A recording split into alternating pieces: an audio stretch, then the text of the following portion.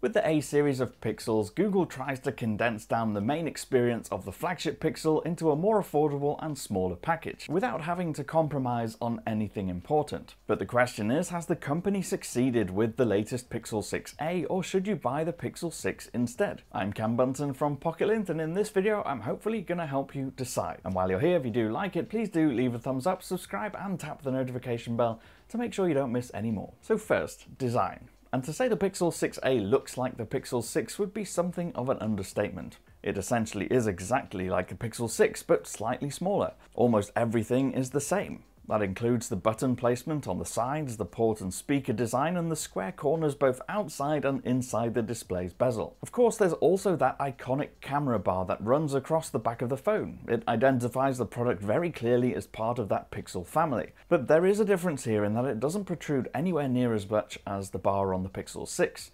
That adds to the feel of this phone being more compact and pocket or palm friendly. It also means it collects less fluff in your pocket. The size difference does generally mean it's a bit easier to use as a general daily one-handed device. I like the way it feels in the palm and certainly doesn't feel as big and bulky as its older sibling.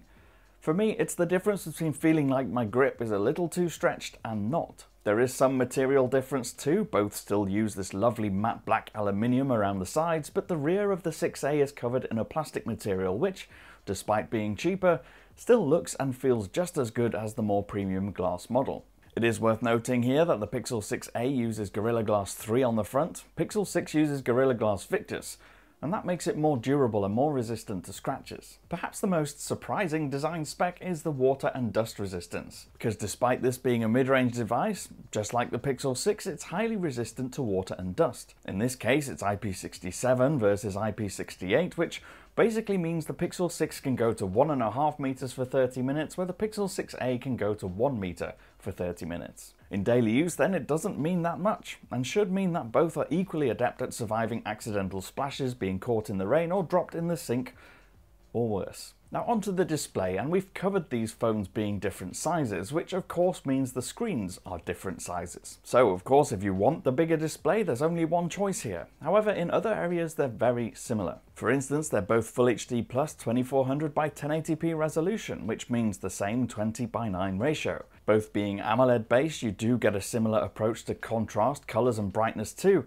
but when you look at them side by side, there's a sense that the Pixel 6 does have a ever so slightly higher quality panel. It's a tiny bit more dynamic maybe, but like with so much of this phone, we were hard pushed to see clear significant differences. Colours and saturation are very similar on the two screens and the calibration tools give you the same options to choose from, allowing you to switch between natural, boosted or adaptive colours. Apart from the size then, the display experience is very similar on both. Of course there is a difference in refresh rates, which we'll go over a little bit more when we're talking about the performance. And since we're there from a performance and battery perspective, surprise surprise, there's not a huge amount of difference here either although arguably this is still an area you'll notice the most significant differences. Both are of course powered by the same Tensor processor, but you do get more RAM with the Pixel 6, it's 8GB versus 6, and as mentioned, the faster refresh rate display does make some elements feel smoother when switching between different areas of the interface. When you're loading apps using them or playing games though, it's not as easy to spot that difference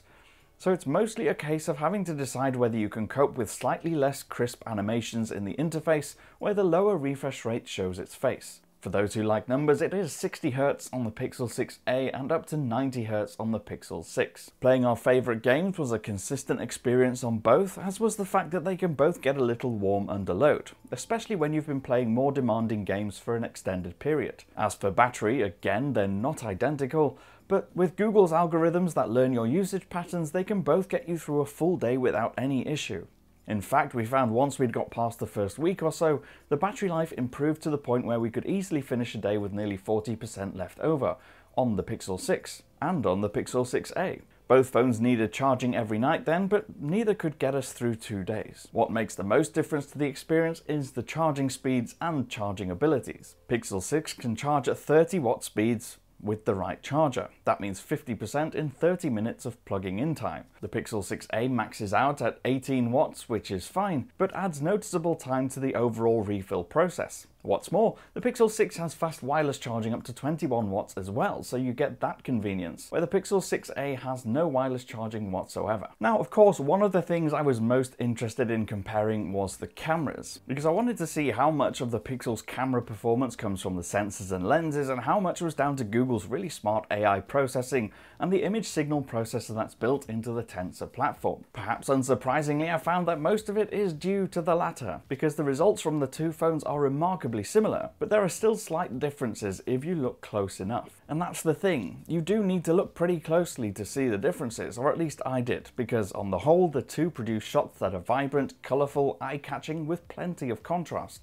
Both have strong primary and ultra-wide cameras, and colours are pretty evenly matched across both. Sometimes we had the sense that results from the Pixel 6 were ever so slightly richer in terms of colour and detail, but really it was so difficult to pinpoint. If anything, that's a testament to how good the Pixel 6a's cameras are for a phone that's in this mid-range segment. If there's any consistent difference, it's that the Pixel 6a is slightly overexposed compared to the Pixel 6, making the highlights a bit too prominent and losing some of the colour and the texture. But the area I saw most obvious differences was in the depth of field and background blur. Pixel 6's bokeh effect was stronger and more effective when taking close-up shots the Pixel 6a didn't seem as good. So if that's important to you and you want that attractive bokeh in the background of your shots, the Pixel 6 is the better choice. I think where I noticed the bigger differences though in processing was when using the night mode feature. Pixels seemed to give a cleaner, sharper image with wider dynamic range and better colours. It wasn't necessarily that the 6A was bad, not at all, but the 6 tended to have a bit more of a crisp look to it, and lines were sharper. We also noticed the stabilization was better on the Pixel 6 as well, because I often found with the 6A that with some nighttime shots I would get some handshake and motion blur, which I didn't get with the Pixel 6. As for selfies again, a lot of the time they were evenly balanced, but sometimes the 6 would have a warmer finish to it than the 6A, which would sometimes go for that completely white balanced, sterile approach. So in the end, it's hard not to come out of this time testing both phones side by side with the feeling that the 6A is stunning value for money. It offers an experience remarkably close to the Pixel 6 in every area that really matters. Pixel 6 is the slightly better phone, but it is more expensive, and I think for most people, saving money and buying the 6A is the best choice because that extra cash you might have to spend to get the 6 doesn't result in a much better experience unless you really need faster charging or wireless charging. There's really not much reason for it. Now, if you find it discounted at a similar price, there's no reason not to get it. It's still a very, very good phone, and the cameras are slightly better, so it's still worth it if you find a good deal. But at full price, I feel the 6A is the better option. I've been Cam, I'm at Cam Bunton on Twitter, you can get hold of me there if you want to, or use the comments down below. Would you like to see us compare the 6A with another phone, maybe the Galaxy A53? Let us know in the comments. And if you did like this video, please do subscribe and tap that notification bell to make sure you don't miss any more. I'll see you again in the next one. Bye for now.